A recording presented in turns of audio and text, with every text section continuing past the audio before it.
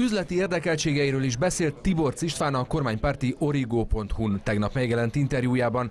A miniszterelnök veje elismerte meghatározó tulajdonos a BDPST ZRT-ben, amely több kisebb céget is létrehozott, ezek pedig ingatlanokat vásároltak. Cégen keresztül a Postabank egykori székházában is volt tulajdonrésze Tiborc Istvánnak.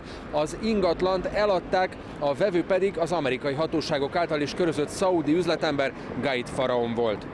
Az együtt választmányi elnöke Szigetvári Viktor szerint azzal, hogy Tiborc István elismerte meghatározó tulajdonos a BDPS ZRT-ben, azt is elismerte, hogy Gaid Faraonnal üzleti kapcsolatban állt. Tiborc István egy nemzetközileg körözött bűnözővel üzletelt, a nemrég elhunyt szaudi üzletembert az Egyesült Államok terrorizmus támogatásával vádolta, és 20 évig nemzetközi körözés volt érvényben ellene.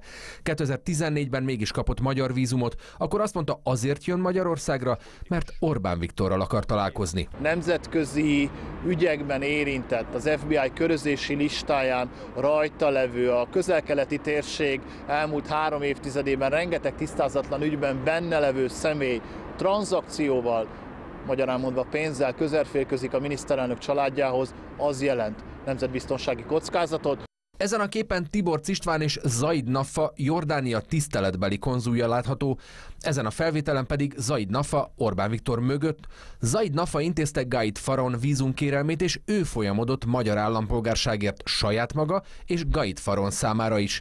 A vízum kérelmével kapcsolatos iratokba Demeter Márta lmp politikus tekintetbe, ez alapján azt állította, hogy a TEK szerint Zaid Nafa nemzetbiztonsági kockázatot jelent. Ez a kérdés csak és azért hangzik el, mert az illető akiről beszélünk, a miniszterelnök lányának a férje.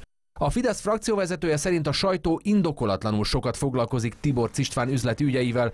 Gulyás Gergely kérdésünkre azt mondta, semmilyen kockázatról nem tudnak. A Fárámúrral kapcsolatos vitákat szerintem a Nemzetbiztonsági Bizottság tisztázta, soha semmilyen nemzetbiztonsági kockázat ebben a vonatkozásban fel nem merült.